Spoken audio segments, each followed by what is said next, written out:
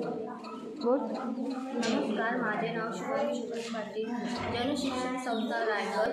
अ, यातर्फे hand hand ॲम्ब्रॉयडरीचा course केला आहे.